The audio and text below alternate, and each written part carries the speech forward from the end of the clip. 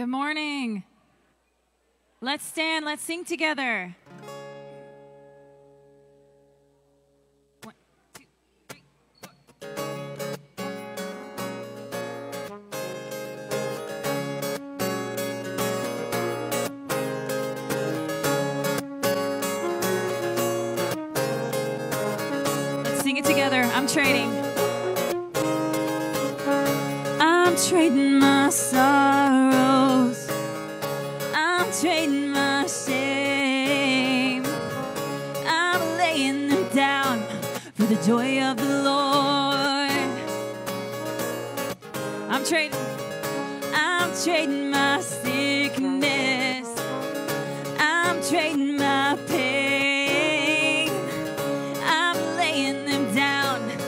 Joy of the Lord. We say this together. Yes, Lord.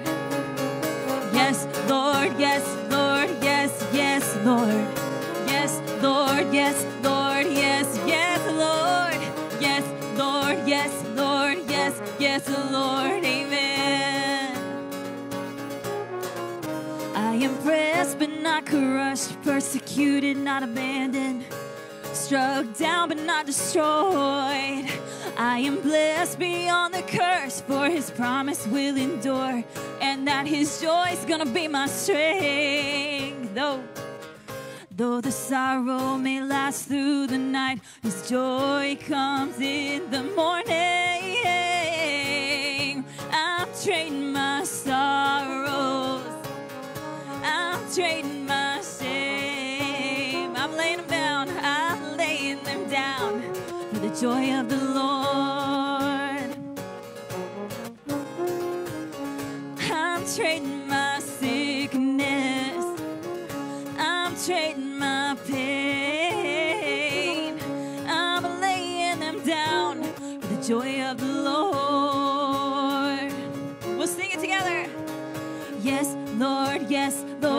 yes, yes, Lord.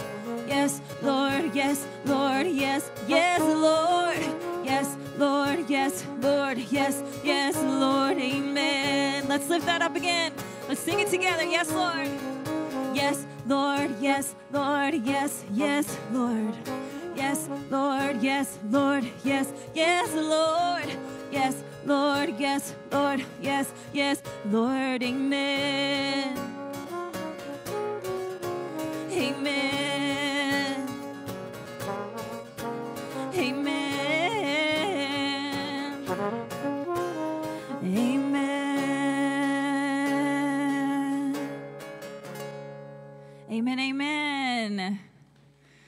Welcome this morning. Welcome this morning, whether you're joining us in person or online. We are so excited to be together to glorify God this morning. At this time, I will ask you to be seated. And I do want to make an announcement. I just want to remind everyone that on Sunday, September 11th, our 9 o'clock Arbor service will be back inside. Sunday, September 11th, we will be back inside in here. But at this time, let's continue to worship, continue to lift your voices.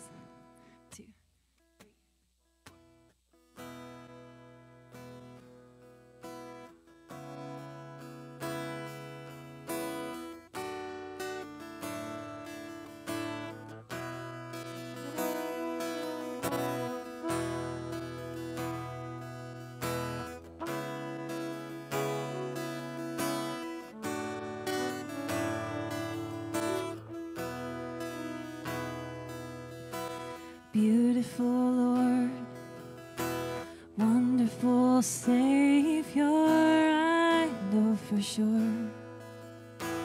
All of my days are held in your hands, grafted into your perfect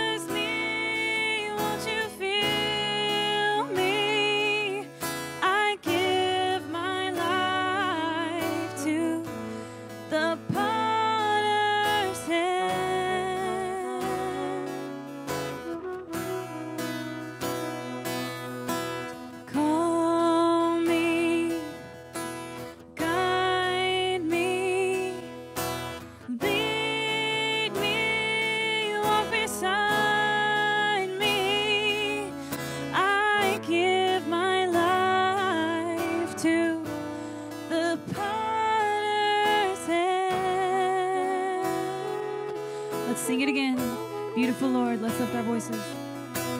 Beautiful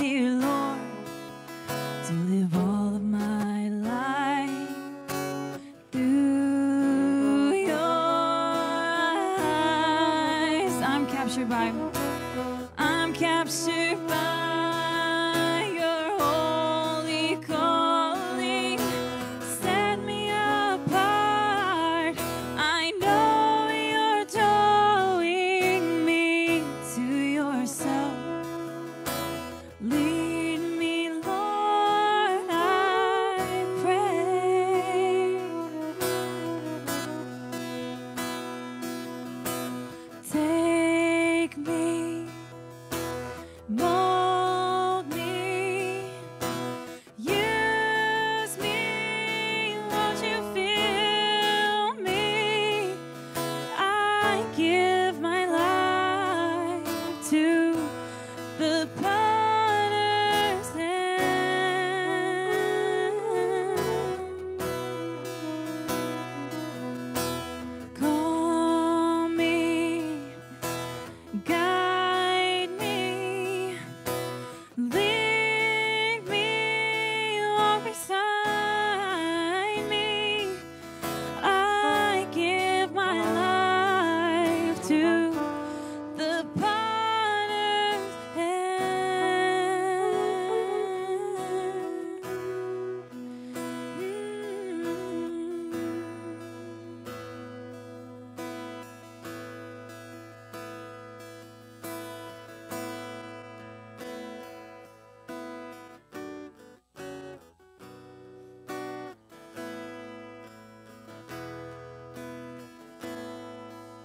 sing this together. Spirit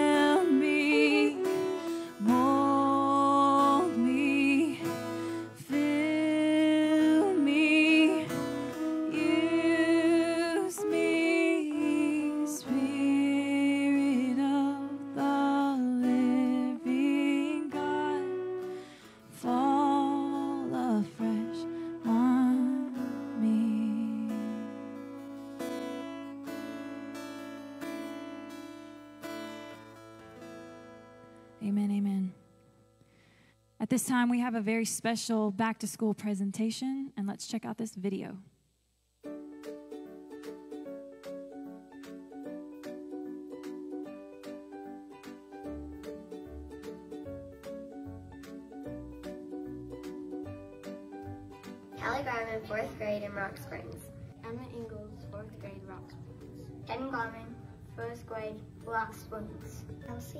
Going into fourth grade at Starboard Christian Academy. Dorothy Keener going into sixth grade at Starboard Christian Academy. Claire Handy, fifth grade, Rock Springs. Emerson Epley, second grade, Pursuit. Charlotte Risman, first grade, Rock Springs Elementary School. Emery Edward, second grade, Lincoln Charter. Chloe Selden, first grade, Lincoln Charter. Lila Witherspoon, third grade, Rock Springs. Blythe Epley, Pursue Kindergarten. Amelia Selden, first grade, Lincoln Charter. Maddie Selden, Lincoln Charter, first grade. Barrett Scott Spencer, going to kindergarten St. James. Elias Cobb, fourth grade, Rock Springs Elementary. Hi, I'm Hadley Nash. I'm going into first grade Pumpkin Center. Eva Nevels, first grade, Falls Creek. Kylie Bennett, first grade Hannah Huggy, fourth grade Rock Springs. Hi, I'm Ethan LeGrand and I'm going into third grade in my school, is St. James Elementary. Adam Palmer, Rock Springs, second grade. Hi, I'm Jackson Glenn, and I am in fourth grade, and I go to South Lake Christian. Hi, my name is Caitlin Sipe, and I'm going to fifth grade at Pumpkin Center. Hi, I'm Owen LeGrand. I'm going into fifth grade and I go to St. James Elementary. Finley Abernathy, third grade, J.B. Washam. Trent Knowles, Falls Creek, third grade. My name is Brock Rollins, second grade, Rock Springs. Layla Palmer, fifth grade, Rock Springs. Good luck heading back to school, guys. It's gonna be your best year yet. I know it. You guys are gonna rock it, and just know that we're in your corner praying for you every step of the way.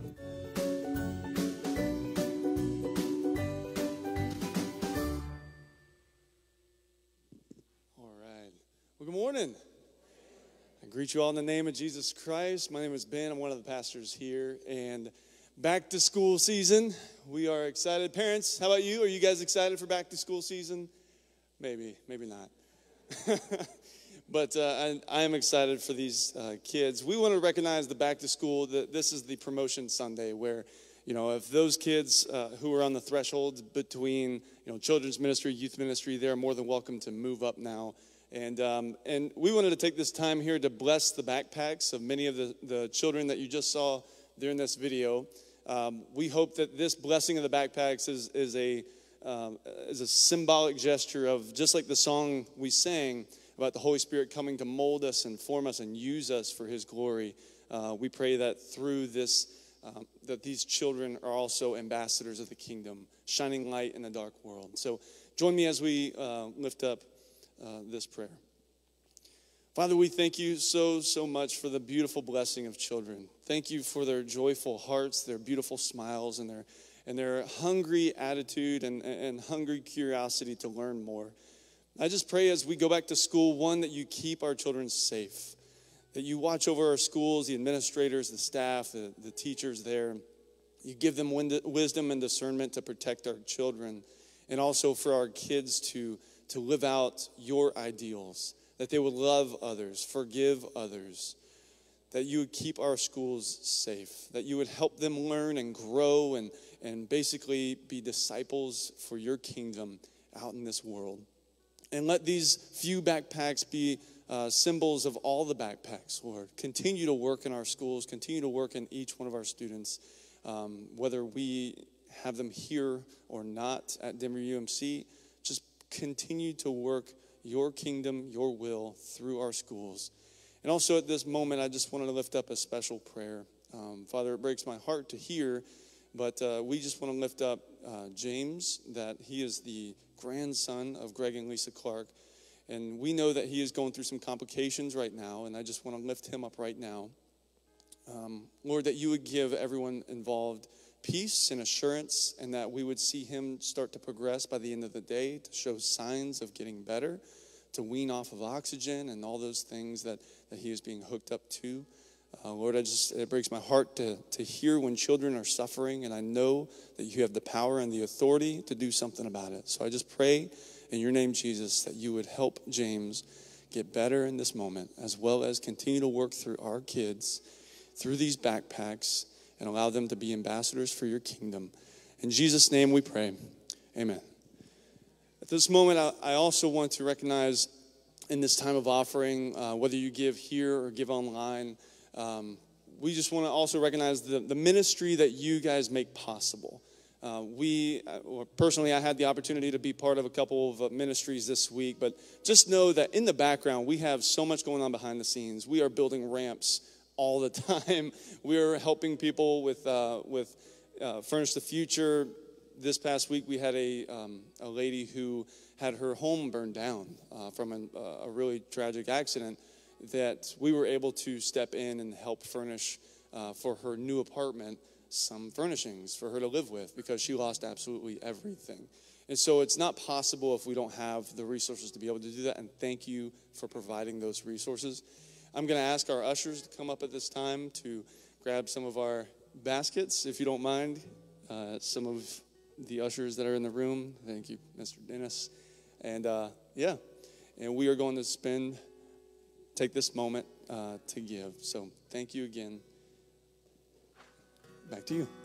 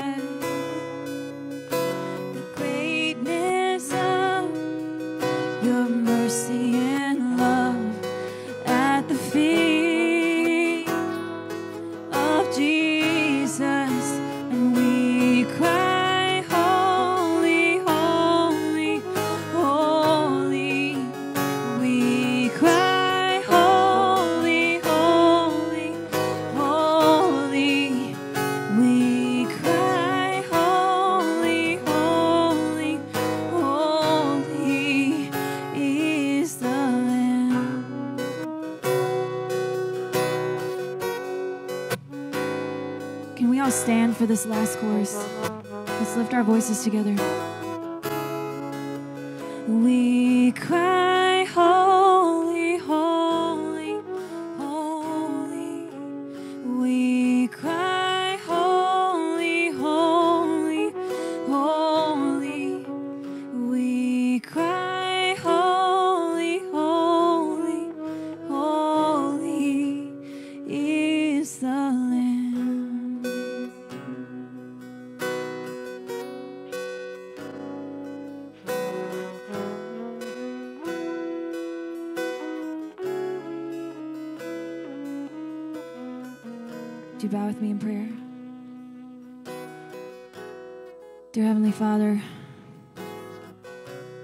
Just as we sang, we cry holy.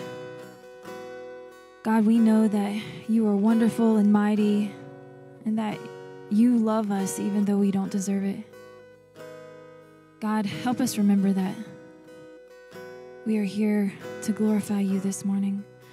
Help us let go of all the chaos of last week and everything coming this coming week and help us remember that you are in control.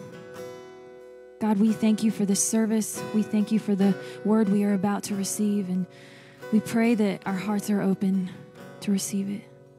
Let your Holy Spirit fill this place this morning. In your holy name we pray. Amen.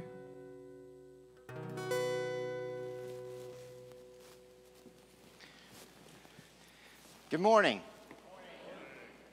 My name is David Washko. I have the pleasure and honor of being one of your pastors here. So I welcome you to those who are here, the guests that uh, arrived today, and those who are, are online. I do have one other announcement that uh, Pastor Ben reminded me of. Tonight at 6 o'clock, correct? uh, for the Harbor Youth is a parents' meeting. Uh, in this meeting, you will get to learn what's going to be going on this coming year with Harbor Youth. I heavily encourage you to attend. Um, ben has a super strong heart, not just for the youth, but for the parents to know the messaging that he is sharing with our youth. Uh, so um, that's tonight at 6 o'clock and officially starts next Sunday, correct? 9 11. Okay, so, so parents, please take time um, and share what's on your heart with Ben, too. He wants to know what's on your heart and the messaging that he could share with our children. If you would this morning, please come to prayer with me.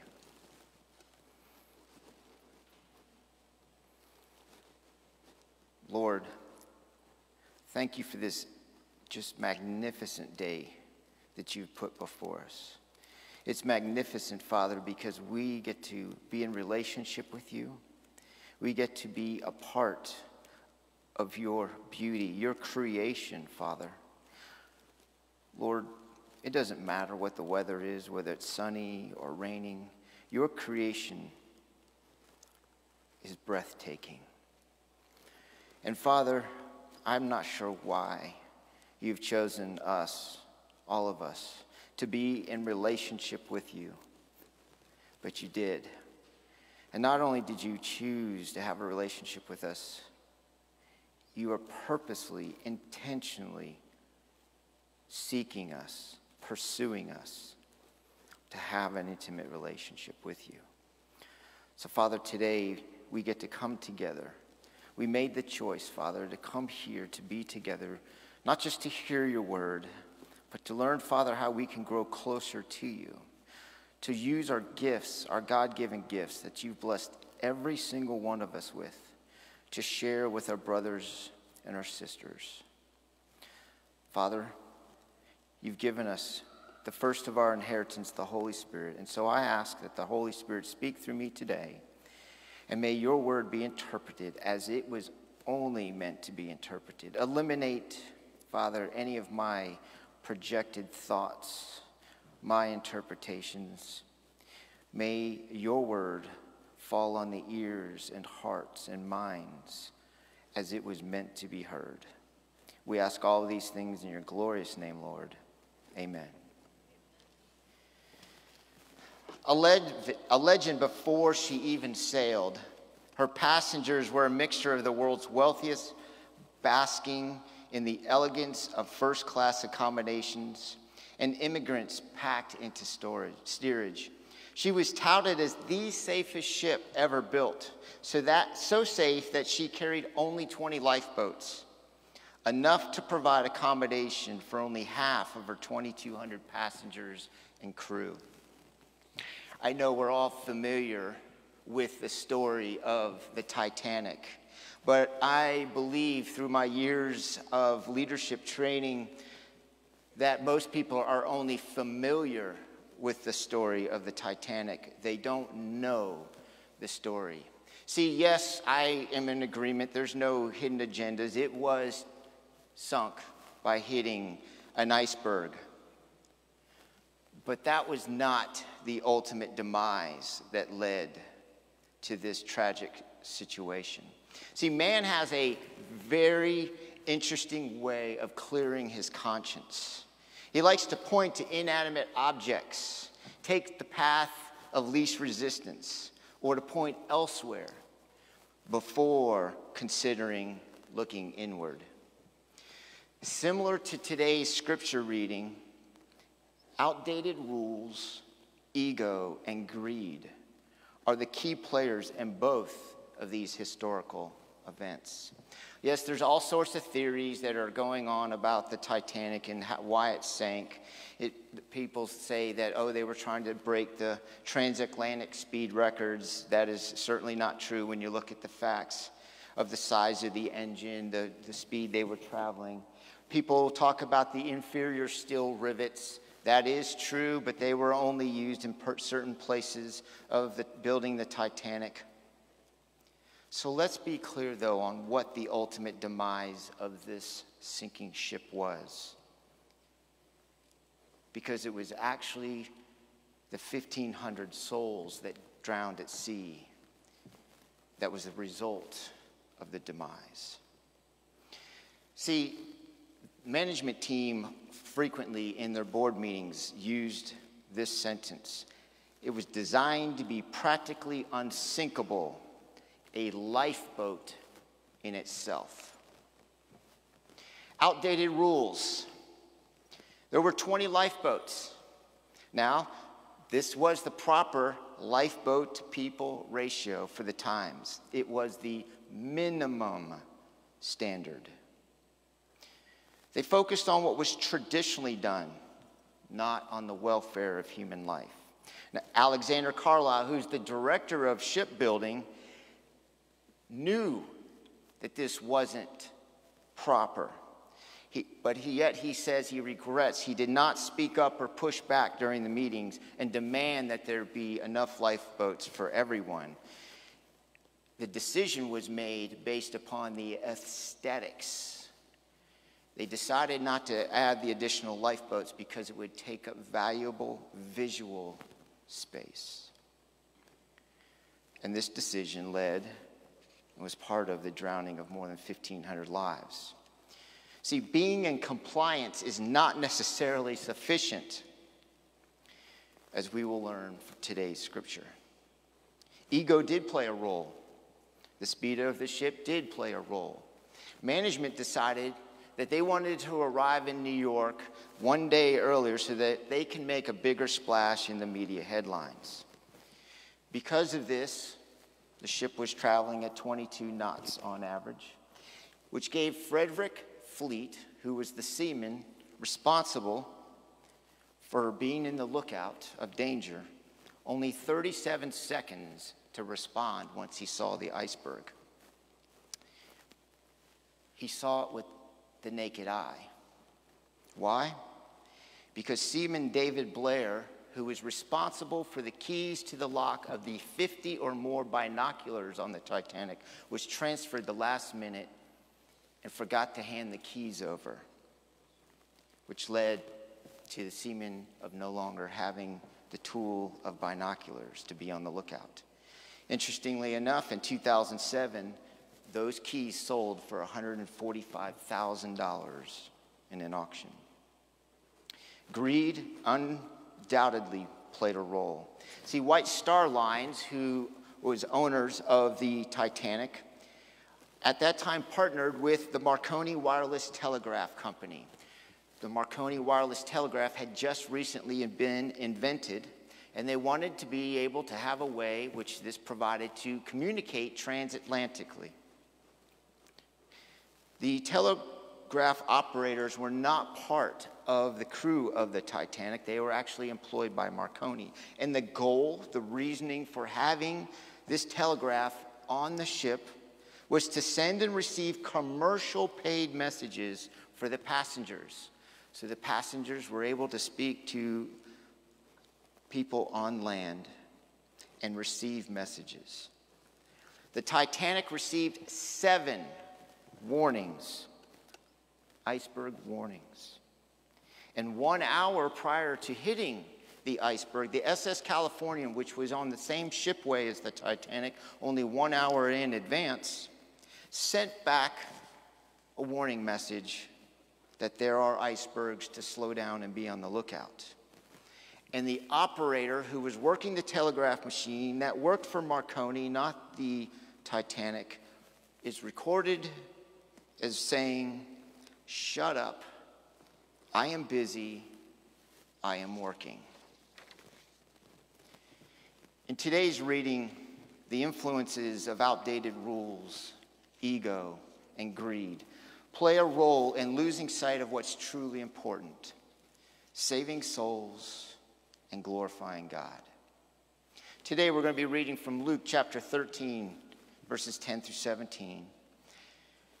It's titled Christ Heals the Crippled Woman, but it goes so much deeper than that. It is written, and he was teaching in one of the synagogues on the Sabbath. And there was a woman who for 18 years had a sickness caused by a spirit, and she went bent double and could not straighten up at all. When Jesus saw her, he called her over and said to her, Woman, you are freed from your sickness. And he laid his hands on her, and immediately she was made erect again and began glorifying God. But the synagogue official, indignant because Jesus had healed on the Sabbath, began saying to the crowd in response, There are six days in which work should be done. So come during them and get healed, and not on the Sabbath day. But the Lord answered him and said, You hypocrites! Does not each of you on the Sabbath untie his ox or his donkey from the stall and lead him away to water him? And this woman, a daughter of Abraham as she is, whom Satan has bound for 18 long years, should she not have been released from this bond on the Sabbath day? As he said this, all his opponents were being humiliated, and the entire crowd was rejoicing over all the glorious things being done by him. This is the word of God for the people of God. Thanks be to God. One of the things that I find fascinating is when we, you read scripture, some big points hopefully stick out. But then when you read deeper and deeper and read it over and over over a period of time, things show up that you didn't see the first couple times. And then I like to, before I do my sermons, um, as you know, I used to say before I got my pastor's license that I provide a view from the pew because I'm one of you. I'm not seminary trained. And so I like to sit down with a group and get their insights and thoughts of what they think when they read the passages. And then that helps me be able to speak to a broader audience. And so, reading into this scripture, there are so many important things that jump out about this. So, first of all, it says, and he was teaching in one of the synagogues on the Sabbath. Not just anybody could walk up in the synagogue and begin preaching. You had to be invited. So, this is a situation where Jesus was invited by the leader of the synagogue to preach. So, this leader clearly understood Jesus' authority and thought they were in some type of alignment with their beliefs. And there was a woman who, for 18 years, had a sickness caused by a spirit. 18 years. Now, as if it's not enough that she had this debilitating physical ability for 18 years, that was clearly no fault of her own because it says she was indwelt by a spirit. 18 years. I mean, think, we maybe some of us know somebody who's been afflicted for 18 years. How hard it is for them to get around. 18 years of probably praying to God. I don't know why I've got this physical disability, but I'm praying to you, God, to heal me. 18 years. What's impressive is I would like to believe I could do this for 18 years and still show up to church. That my faith is that strong after 18 years of living like this. And so here she is, 18 years, and she's still showing up in the synagogue because she has the faith level of Abraham.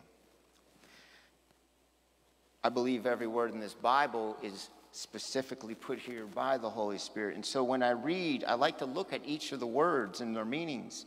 And I find it fascinating when it says that Jesus saw her, he called her over and said to her. Now, here's a lady who's literally bent over. Jesus sees her. She's not coming there to see Jesus. And he, instead of going over to her, has her come over to him. That doesn't sound like something I would have thought Jesus would have done. I thought he would, he's such a compassionate person. You would think he'd walk over there. But there, I believe there's meaning in all of these words. And I believe we're told by the writer, and Jesus did this so that we would know that this healing was unsolicited that she was there not because she thought that, oh, Jesus is here, I can go touch his cloak and can be healed. I could be lowered through the thatch of a roof and be healed. No, she was there simply because of her level of faith. And Jesus, like he always does, took the initiative. And it says that she was freed from sickness. You know, ironically, it doesn't say like most other places in the Bible, Jesus cast out this evil spirit. It simply declares that she was loosed from this spirit. And what does she do? How does she respond? I would have responded, probably dropped to my knees and put my arms around Jesus' ankles and hug him and thank him. She goes straight to glorifying God. And notice, Jesus doesn't take exception. He knows that's why he's there on a Sunday, or excuse me, on a Saturday, the Sabbath, working and healing as this official seems to think. And it says, the synagogue official, indignant because Jesus healed on the Sabbath.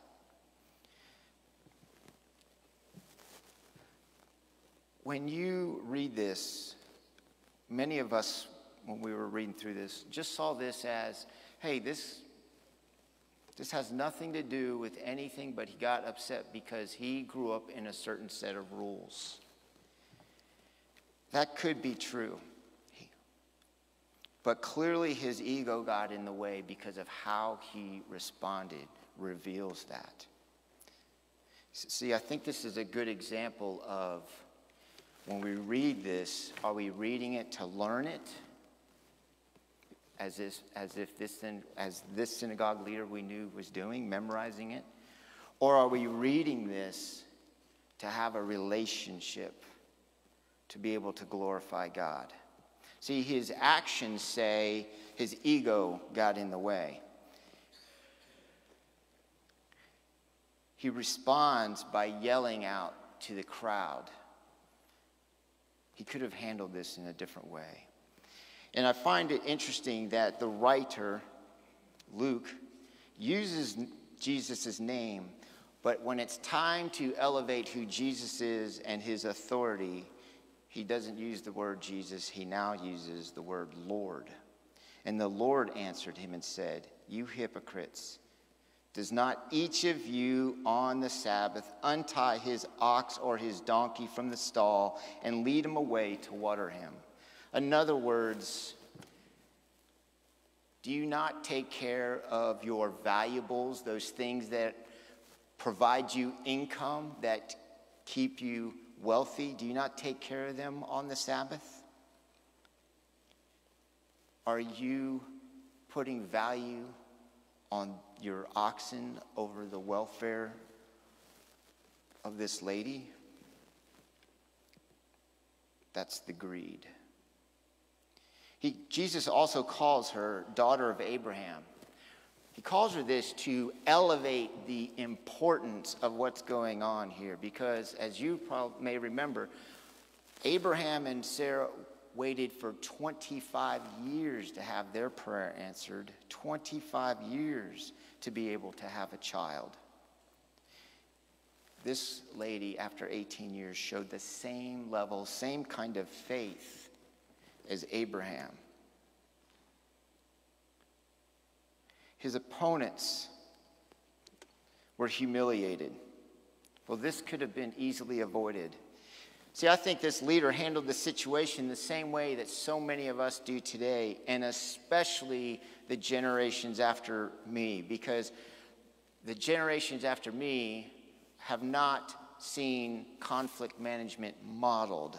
They have not seen what good communication looks like and being modeled for the most part. And so this leader had three ways to respond. He could have internalized it, like many of us do.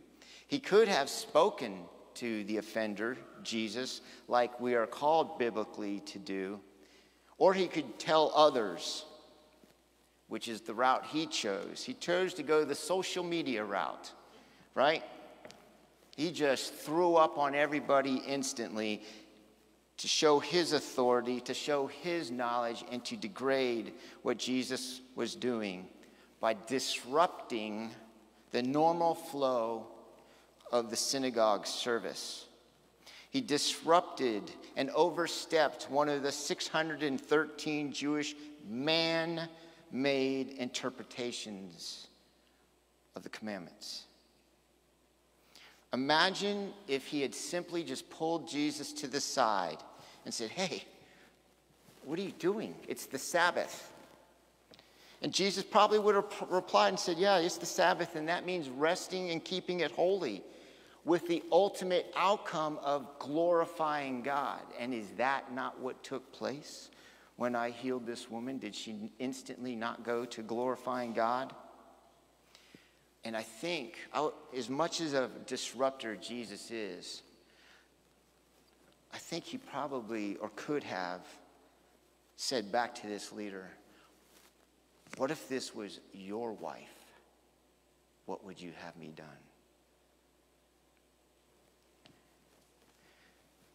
Jesus is incredible at disruption, and he does it to wake us up.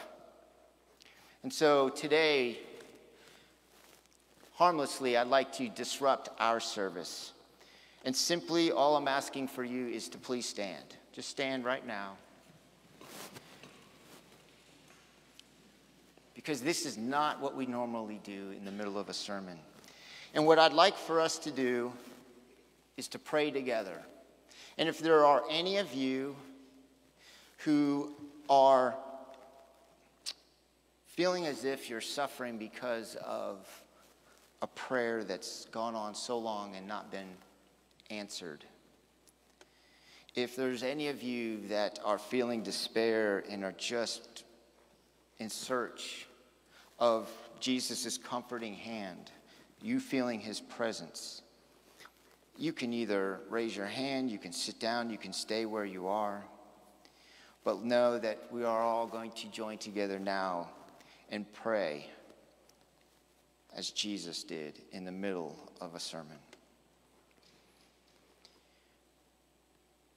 Father, we come to you as a body, your body.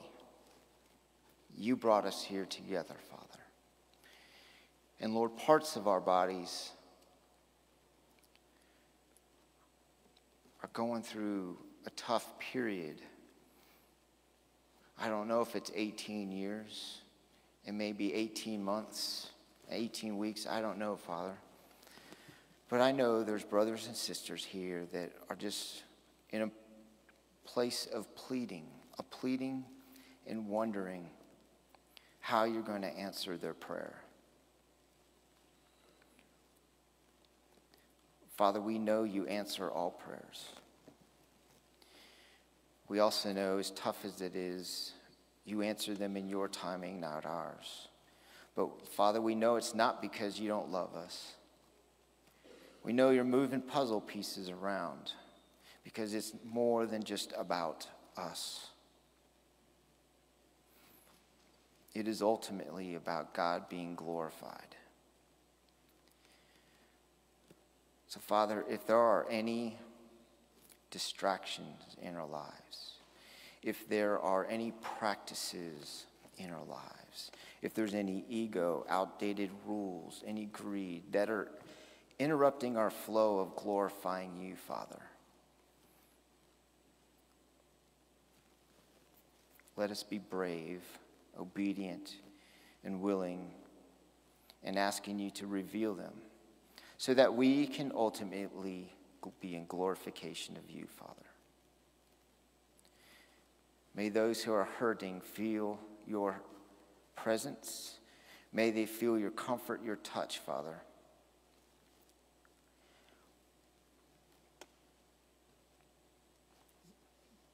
Lord, sometimes it would be cool just to see somebody healed and stand straight up. But Father, that would be for our selfishness. Only respond in ways that are in your glorification. We ask all of these things in your glorious name, Lord. Amen. You may be seated. Somebody told me on Monday night when we were sitting down, they said rigidity can be blinding. And I really believe that's true. Rigidity can be blinding. A few uh, months ago, I gave the sermon that was titled based upon what my previous pastor's sermon was because it altered my life. And I shared with you was called Outward Conformity versus Imperfect Intimacy. This story today is about outward conformity. And Jesus clearly gave us an example of what imperfect intimacy looks like. So, in tradition, as you know so well of me, the call to action is this self examination. Be bold, be willing, in asking God to reveal to you what rules, what practices, what actions are you taking, am I taking, that are about the external, the temporal, and not about the eternal. And please understand this. I'm not saying that the Sabbath is not important because the Sabbath is. I don't want you to walk away thinking that we're busting chops on this leader. The Sabbath is important. It is important for keeping it holy. But the purpose is so we can remain in an intimate relationship with God. That's the importance of the Sabbath. So let us not do things that are at the expense of us not glorifying God. Amen.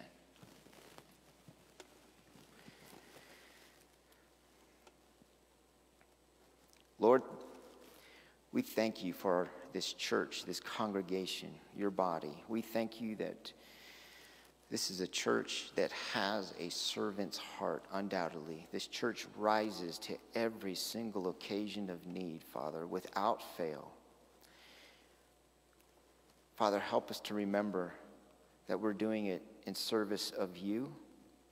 We're doing it so that those who are served can see what it looks like to glorify you.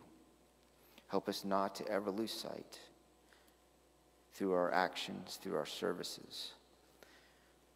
Father, help us to grow closer to you. Help us to be one step more transformed to being look, looking like your Son, Jesus Christ. Amen. So I send you out this week, hoping that you'll be bold, brave, and willing to ask God to give you his examination as to where you could be glorifying him more. Amen.